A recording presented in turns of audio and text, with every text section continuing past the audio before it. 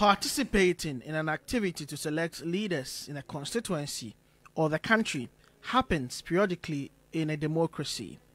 Every election cycle, new set of voters join the electoral roll after coming of age. In 2020, 2.6 million first-time voters registered, constituting about 15.5% of the total voter population. It's an election year, and yet again, this important demographic is looking attractive to political suitors.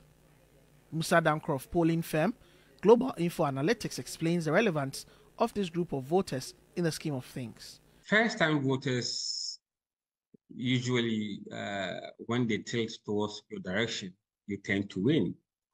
But they provide the little margin that you need uh, to cross over the finish line. And in this election, we're looking at about 14% of the voters being first time voters, and that's quite significant. According to polling data, what issues matter to these voters? For them, it is jobs, uh, it is education, and also uh, the economy in general, as a, I mean, as a whole. So you, you see slight variation in their in their priorities compared to older voters.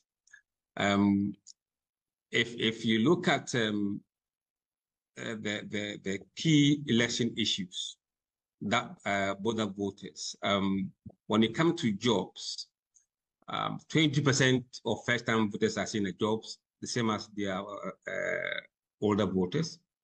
When it comes to education, it is 18% who said education for first-time voters compared to 16% uh, who are not first-time voters. Some first-time voters spoke about what factors will influence their voter choice. There are a whole lot of young people. Some are not in school, some are about to leave school, some have left school, and then they are thinking about their future.